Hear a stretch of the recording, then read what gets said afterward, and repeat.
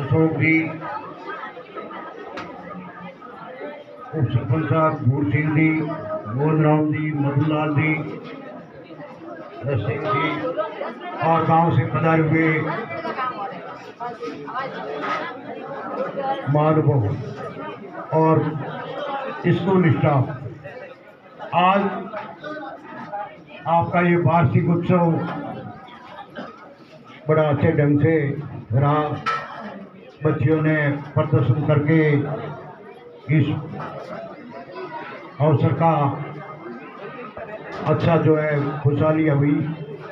और ये वार्षिक उत्सव का मान्य क्या है कि भाई अपने वर्ष भर में किस बच्चे ने अच्छी पढ़ाई की, उसका सम्मान किसने खेल में दिखाया, किसने स्वच्छता में, कानून में नियम में जो भी हर कार्य की जो है ना सराहना, जैसा किया उसकी सराहना के लिए ये वार्षिक उत्सव है।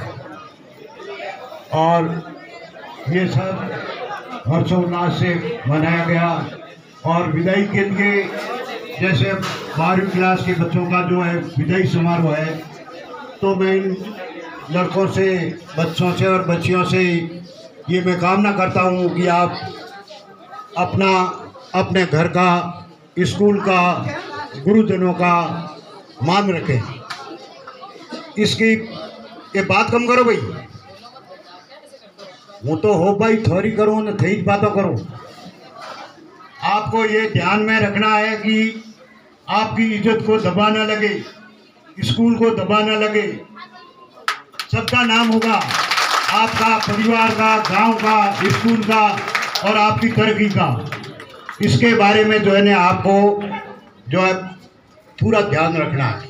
ऐसा ना हो कि हमारी इससे इज़्ज़त को आंस आ जाए।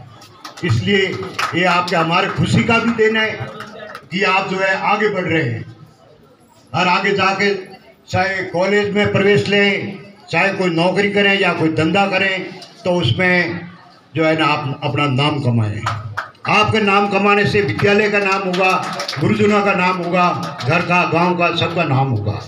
मैं ऐसी कामना आपके लिए, हम पूरे ग्रामवासी ये कामना करते हैं।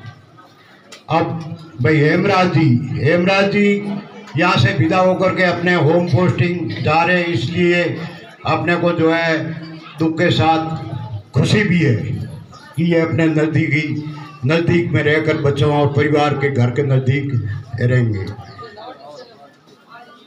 इतना कहकर मैं अपना स्थान ग्रहण करता हूँ। धन्यवाद।